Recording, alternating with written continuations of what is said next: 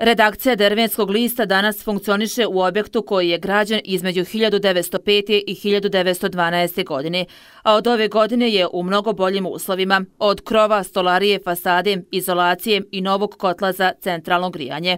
I objekat osnovne škole Nikola Tesla dobio je nove kotlove.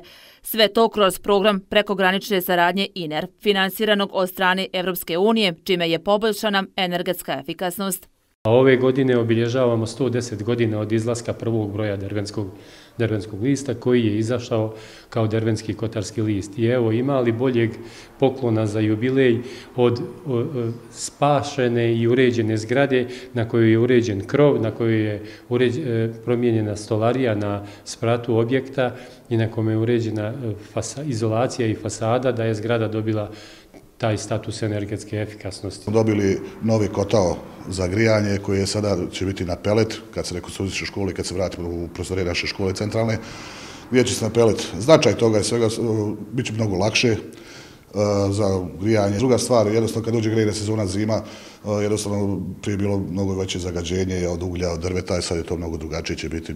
naravno se da će, da će i cijena da bude pristupačna, da možemo da to bez problema i kakvih organizujemo grijene sezone.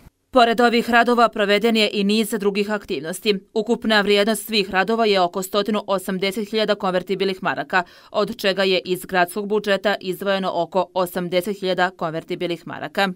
Uradili smo e, takozvanu lokalnu tipologiju stambenih zgrada na području opštine koja će pomoći daljem e, unabrećenju i rekonstrukciji privatnih stambenih i drugih objekata također smo uradili energetske preglede u pet javnih objekata na području grada Dervente. Potom smo ovaj, također pripremili jedan softver koji bi trebao da pomogne boljem upravljanju energije na području grada. Oko 195.000 smo, što bi rekli naš narod, pod navodnicima dobili, ali smo i mi 80.000 uložili i danas imamo novu kvalitetu. Ono se sve to podrazumeva pod energetsku efikasnost, ali je riješen krov, riješeno je grijanje, riješeni su prozori, pa ajmo i reći i fasadni dio. Projekat INER realizuje se u okviru prekograničnog programa između Hrvatske, BiH i Crne Gori. Ukupna vrijednost projekta koji se odvija u ove tri države iznosi nešto više od 1,1 milijun evra.